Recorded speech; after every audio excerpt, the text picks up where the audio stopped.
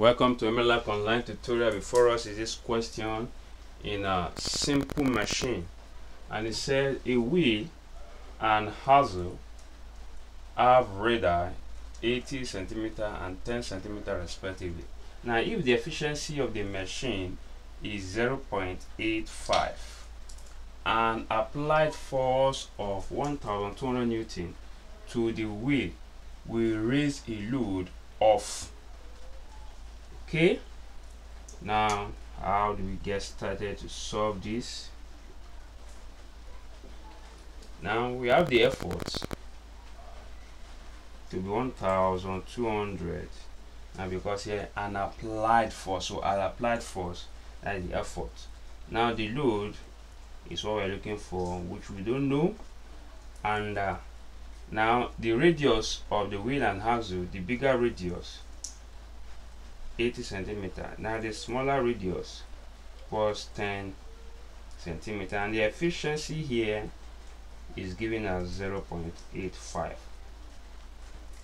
all right let us recall that efficiency equals to mechanical advantage over velocity ratio times 100 okay so what else do we need here? Now velocity ratio for wheel and axle is the ratio of the big radii over the small radii sorry the ratio of the ratio between the big radii and the small radii which is 80 over 10 if you give us what? 8 okay? Now and our mechanical advantage equals to load over effort. And our load is what we're looking for.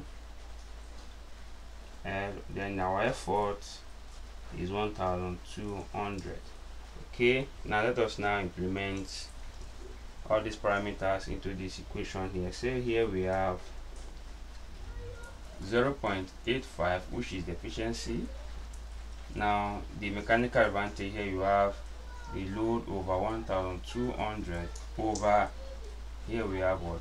8 okay now there's no need of this 100 here because I've resolved this 100 as in by the percentage to be 0.5 so here we have that 0.85 now equals to load over 1200 now divided by what? 8 so we have 0.85 equals to load over 1200 times 1 over what? 8 so invariably what our load here will now be all this cross multiplying to 0.8 so here you have 0.85 times 1200 times 8 alright if we eliminate these two zeros here now this will give us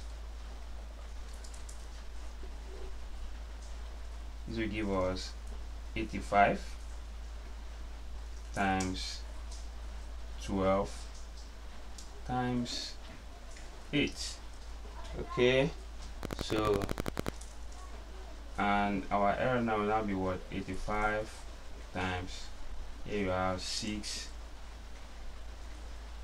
here will be 8 9 okay?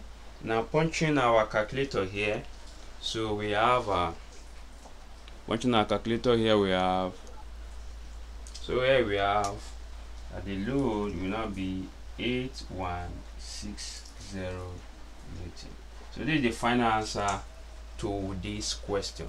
Alright if you love what i've just done subscribe to my youtube channel and ensure you click on the notification button to be notified of all my videos. Thank you and god bless you